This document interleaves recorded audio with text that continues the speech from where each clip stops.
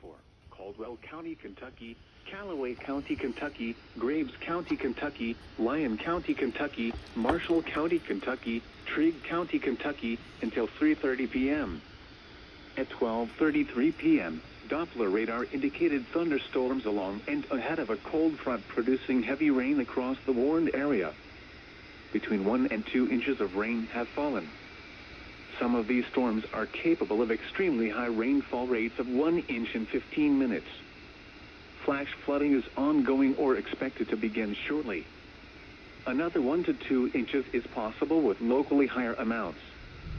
Expected hazards include flash flooding caused by thunderstorms. Source, Doppler radar. The following impacts are expected, flooding of small creeks and streams, urban areas, highways, streets and underpasses as well as other drainage and low-lying areas.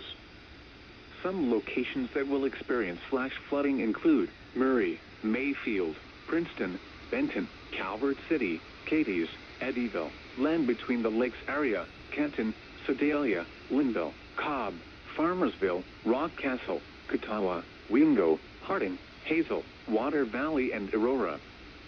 Repeating, a flash flood warning has been issued until 3.30 p.m. for the following counties, in Kentucky, Caldwell, Calloway, Graves, Lyon, Marshall, and Trigg.